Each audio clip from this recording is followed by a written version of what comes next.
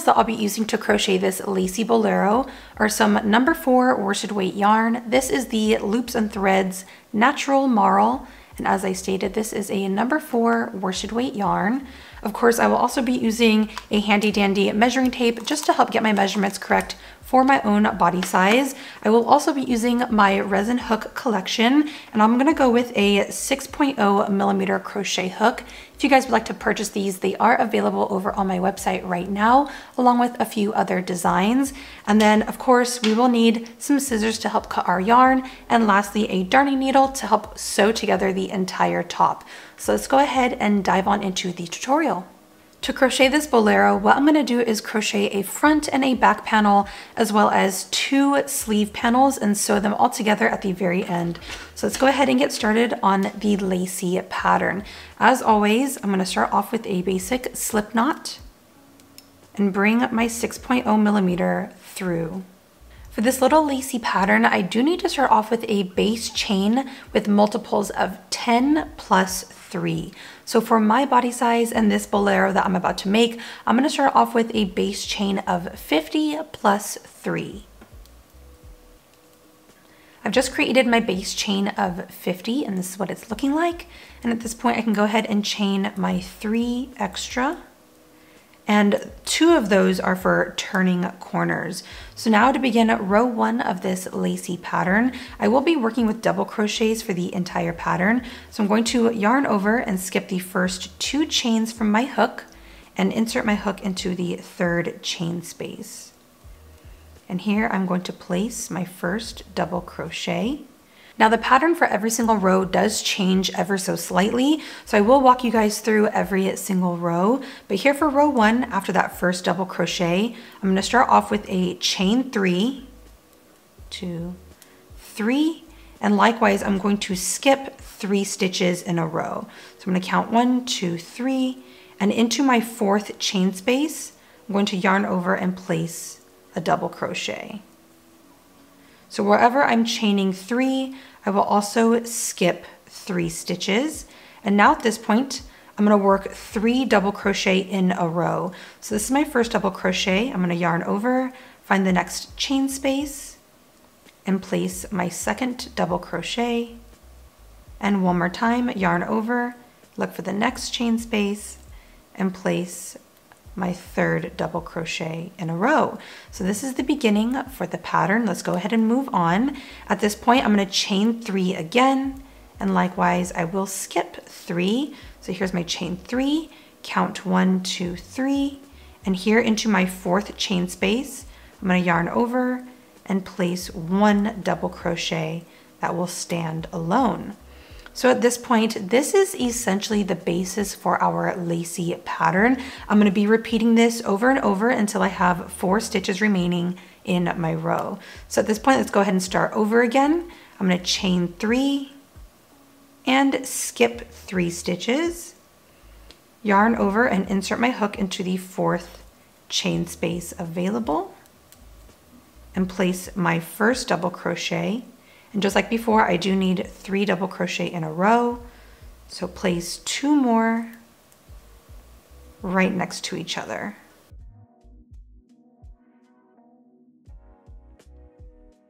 And again, I'm gonna chain three and skip three chain spaces, yarn over and insert my hook into the fourth chain space. And this Double crochet is going to stand alone just like it did before. I'm coming up here to the end of row one and as you can see I've just finished off with my three double crochet in a row. As I stated I have one, two, three, and four chain spaces left. So to go ahead and finish out row one I'm going to chain three and skip three stitches and finish off row one with a double crochet on the very edge.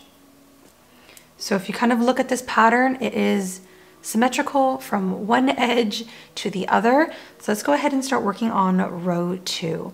As always, I'm going to be chaining two at the start of my row and the chain two never counts as a stitch, just helps us build a little bit of height to start working on the next row of double crochet. For row two, again, the pattern does change on every single row. So I've already started off with my chain two. I'm going to yarn over and place a double crochet right back into that very first stitch. I always start and end my row with a double crochet, just like so. At this point, I can go ahead and chain two and skip two stitches. And into that third chain space, I'm going to yarn over and place my first double crochet. So for this stitch, I'm actually picking up both two top loops in that chain space and placing my first double crochet. What I want to do is build upon these three double crochet to create a diamond shape. So after this double crochet, I'm gonna be working three more double crochet directly on top. So here is two double crochet in a row, working directly into that double crochet. Here is my third. Here is my fourth double crochet. And because I need to finish out that diamond shape, I'm gonna work one more double crochet into the next chain space. So if we stop for a moment and take a look at our little diamond shape, I had three double crochet on the row prior, and now for this row, I have five double crochet in a row. So now that I have those five double crochet, I'm going to chain five, two, three, four, and five, and likewise, I'm going to skip five chain spaces. So here's one, two, three, four, and five. Yarn over and place a double crochet into the sixth chain space. So for row two, the pattern is pretty much repeating over again from the chain of five and the five double crochet. So since this is my first double crochet, let's go ahead and work four more in a row picking up that next stitch. Here is my second double crochet, my third double crochet in a row, my fourth, and one more for a fifth. So again, let's go ahead and look at this. I have five double crochet, chain five, five double crochet, and I can go ahead and repeat this pattern over and over until I reach the end of my row. I'm coming here to the end of row two and I've just finished up the five double crochet in a row. So at this point you should have one, two, and three spaces left to finish out the row just like we did at the start. I'm only going to chain two and skip two chain spaces and finish out my row with a double crochet into the very last stitch space.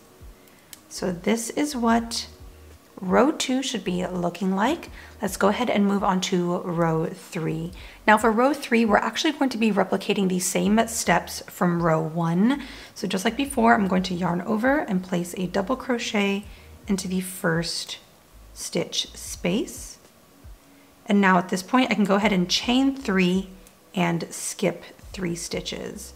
So here's my chain of three and I'm gonna count one, two, three, and here into my fourth stitch, yarn over and place one double crochet.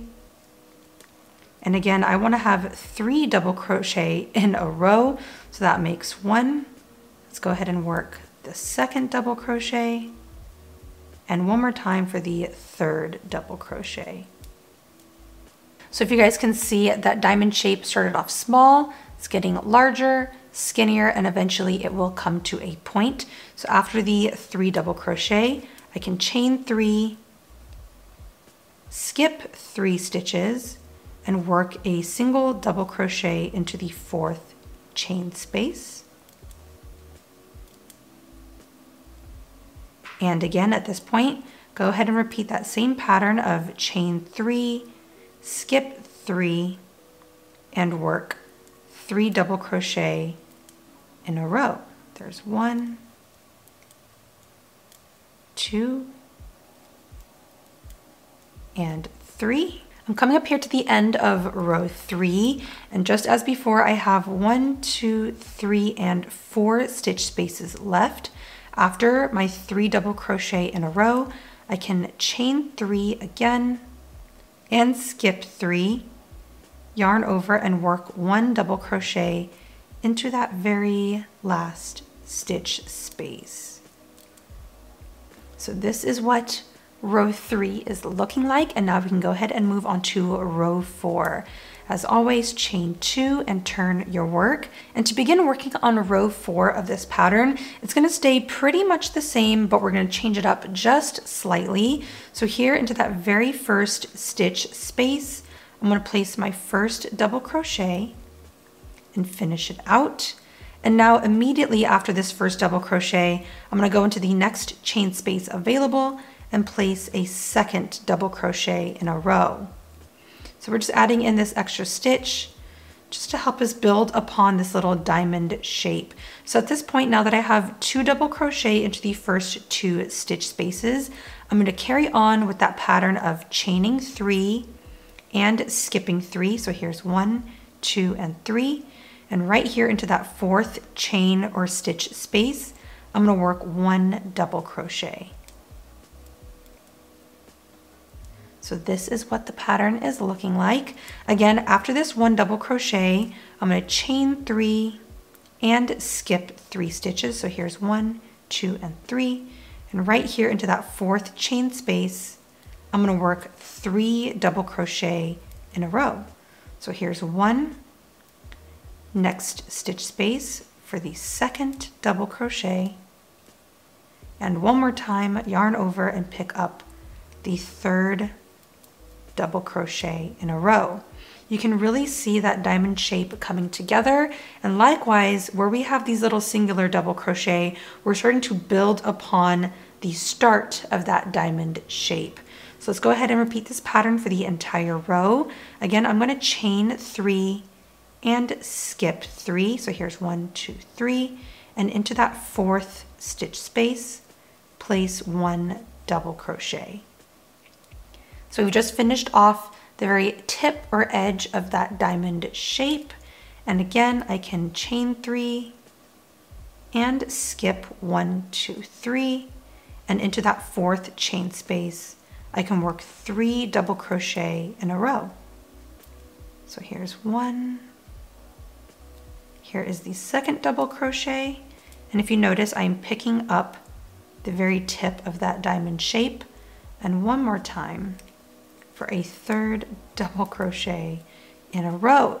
As you can tell, this pattern is extremely repetitive, but we do get a super gorgeous end result. So I'm gonna carry on with this pattern of chain three, skip three and work three double crochet, and then chain three, skip three and work one double crochet for the entire row. So right here after my last single double crochet in a row, I'm going to chain three, and skip one, two, three, and work a double crochet into my fourth chain space.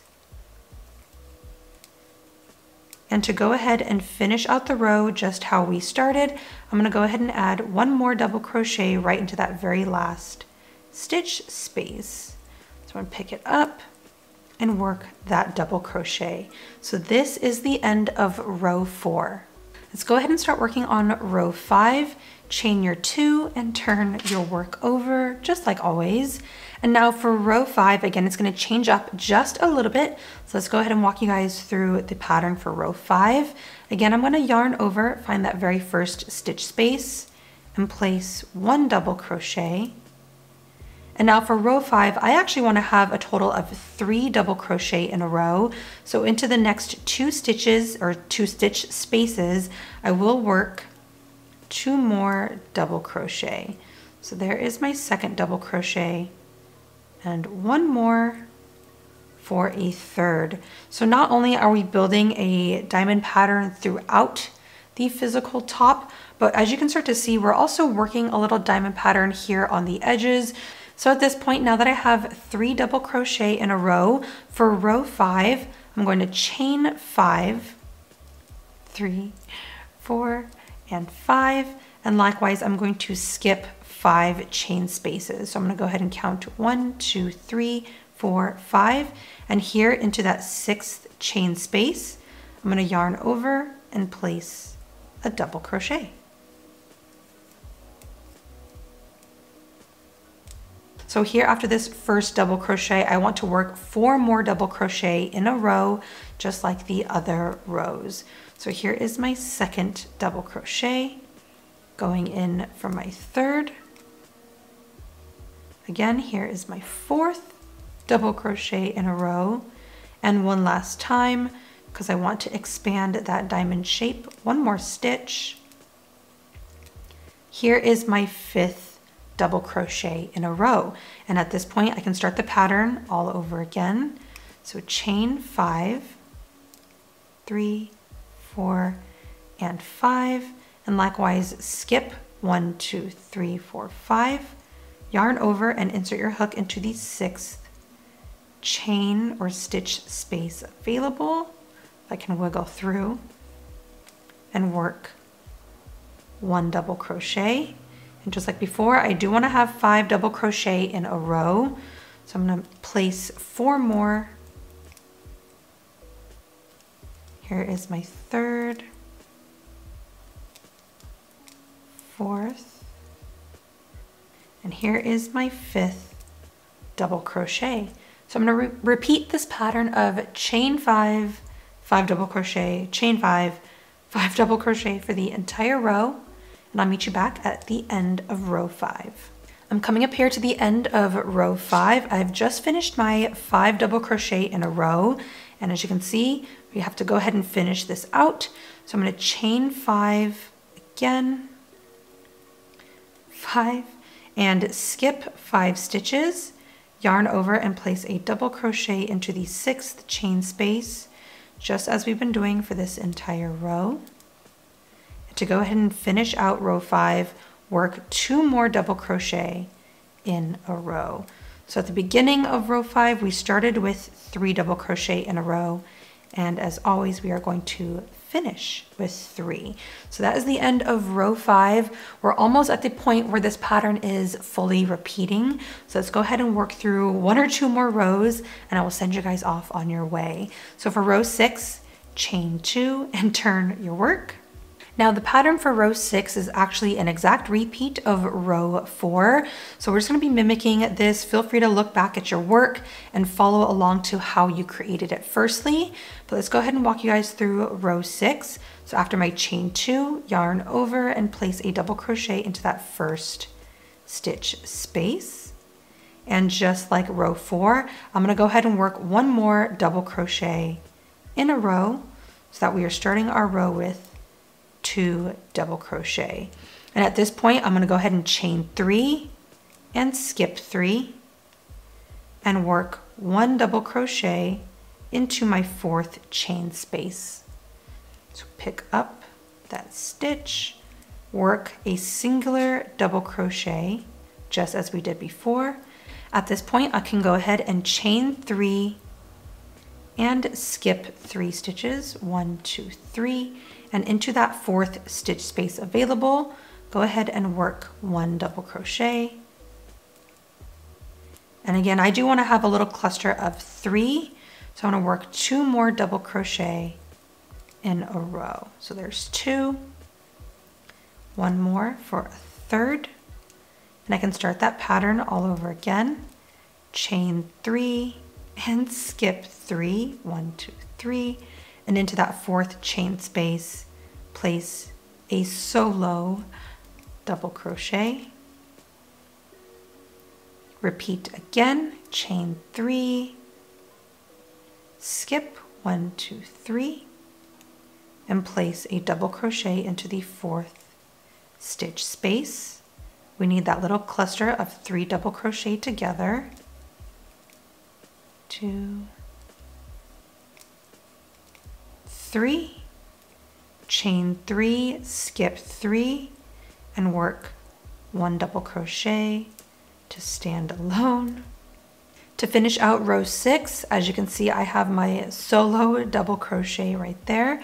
I'm going to chain three and skip one, two, three, place a double crochet into the fourth chain space or stitch space, excuse me, and go ahead and finish out the row with one more double crochet. Just at the beginning, I had two double crochet And here at the end, I will finish with two double crochet. So now at this point, we can go ahead and move on to row seven.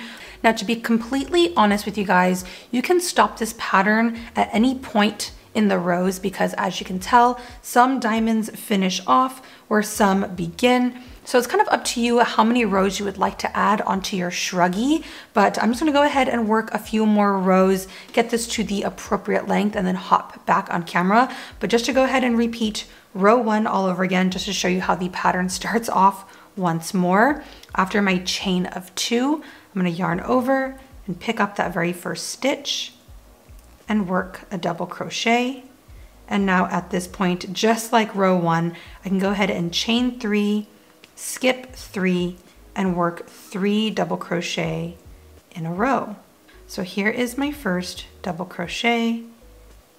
Here is my second and one more time for a third double crochet in a row. Again, I apologize that this is extremely repetitive, but you guys get the gist. Again, I can go ahead, skip three or chain three, skip three and work one double crochet into that fourth stitch space, chain three, skip three, and work three double crochet in a row. So I'm gonna go ahead and finish up this little section right here and set my work down. But as I mentioned earlier, you can work as many rows as your heart desires. I don't think it'll look too funky if you guys stop in the middle of a diamond or on an odd numbered row. It's completely up to you, however many rows you would like to work this to get your little bolero top at the appropriate length. So I'm gonna take a few hours, work on this just a little bit more, add on a few more rows and hop back on camera. But at this point, once you've decided how many rows you would like to work, feel free to go ahead and work up a second matching body panel, and then we can go ahead and move on to the sleeves. I've just finished up my front panel and from where I last left off, I only added on a total of three more rows. So just to recap, in total, I have worked up 10 rows for the front panel. Again, I'm just mimicking rows one through three to finish up those last few rows. So you can really see that lacy effect coming through. And now that I have the front panel all completed, I took a few more hours and finished up a matching back panel. So again, I'm just following these same exact steps, creating rows one through 10. And now I have a front and a back panel. At this point, I can go ahead and just set these to the side because it is time to start working on our sleeves. And over the last half hour, I took a little bit of time to start working on my two sleeves. So as I mentioned earlier at the start of this tutorial, the stitch count for this pattern is multiples of 10 plus 3. With the front and the back panel, I did 50 plus 3 because I do need this to be a little bit wider to cover our shoulder sections. But for the sleeves, we do want these to be a little bit tighter, so I decided to go with a row count of 30 plus 3. So I'm to go ahead and start working on the other sleeve just to show you guys how I started off but it's the exact same pattern. We're just working with less multiples of 10. So I'm gonna go ahead, grab my yarn, and let me go ahead and show you guys how I start working my sleeves. To reiterate once more, I will be working with multiples of 10 plus 3. Feel free to make your sleeves baggier if you would like. I would like mine to be a little bit more tighter and form-fitting on the arm, so I'm to go with 30 plus 3. Here is my chain of 30, and I'm to go ahead and add one, two, and three more. So just like we did with the front and the back panel, I'm going to start off with a double crochet, skip the first two chains in the row, and add a double crochet into the third chain space. From here, I'm going to chain three and skip three stitches, one, two, three, and double crochet into the fourth chain from my hook and now after this one double crochet, I can go ahead and add two more double crochet in a row. So there's two into the next chain space for a third double crochet.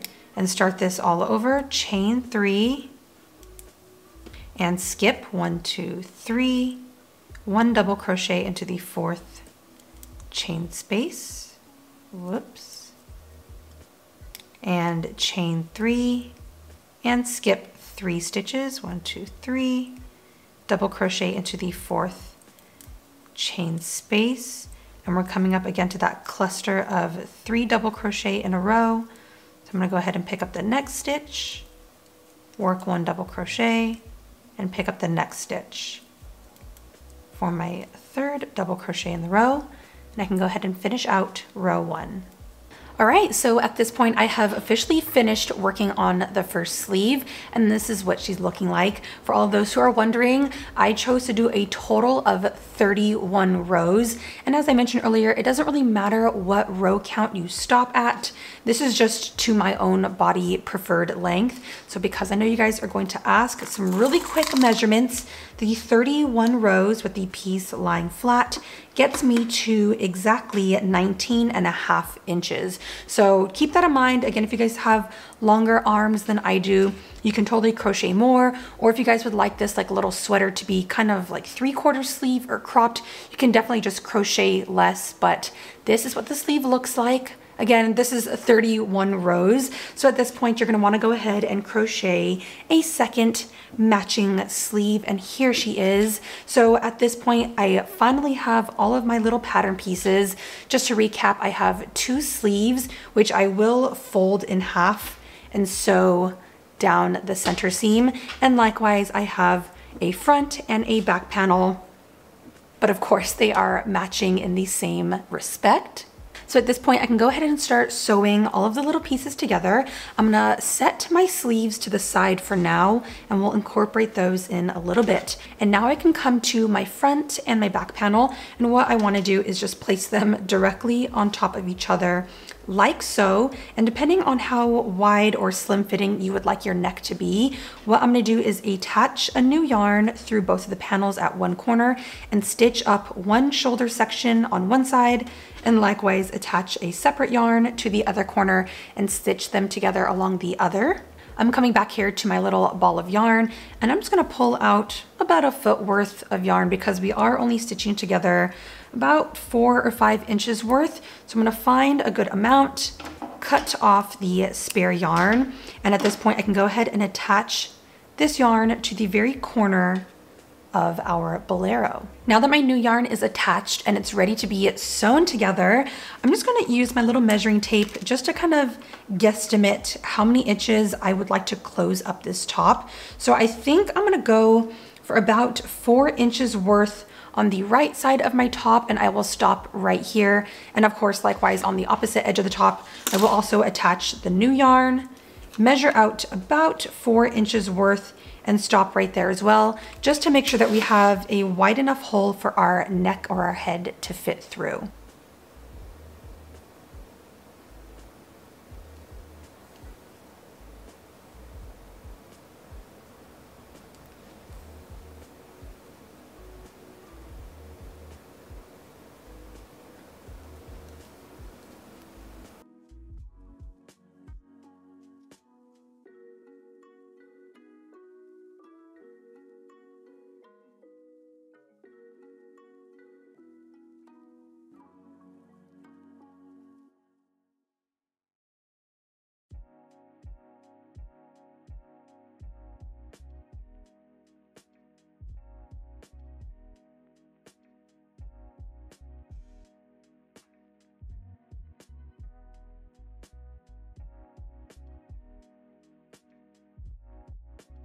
Now that I have my two shoulder sections all stitched together, as you can see, there's a nice open gap for my head to fit through. So for the next step, in order to attach the sleeves, I'm just going to keep the little front and back piece open and splayed out flat just like this. And at this point, I can go ahead and grab one of my sleeves. And just like with the front and the back panel, I'm going to lay out my sleeve open and flat just like this along one edge of the bolero. So as you can probably tell, my sleeve is not quite as wide as the front and the back panel. So what we're gonna do is stretch this to fit to the very top and the very bottom of the bolero. And adding this little bit of a stretch right here is gonna allow for a little extra room underneath the armpits. That way it's not super tight and pinching us in the wrong places. So following the same method that I used for the shoulder sections, I'm gonna attach a new yarn at the very top edge corner right here. And we're just going to whip stitch the sleeve to the body panel all the way down until I hit the very bottom corner. So this entire sleeve should be attached right here along the bolero.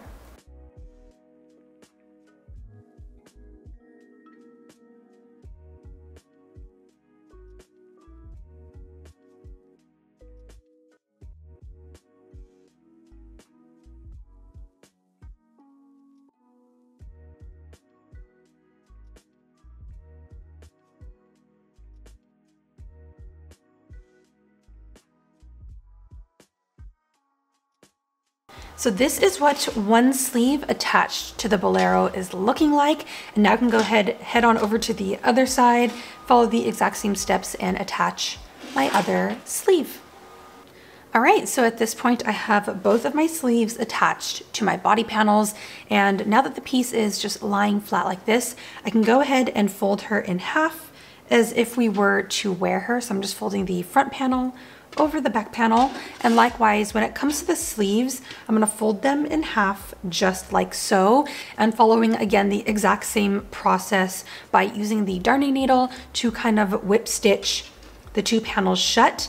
What I'm gonna do is attach a new yarn at either corner. It can either start here at the very edge of the cuff or the sleeve, or you can start your work right here on the inside of the top. But I'm just gonna attach my new yarn and just whip stitch again with the darning needle all the way down your sleeves. And once that is completed, your bolero is fully complete. All you have left to do is go in by hand and stitch these in, weave them in to hide them throughout your top. So now I'm just gonna go ahead, attach my new yarn and just begin attaching the panels together underneath the underarm sections.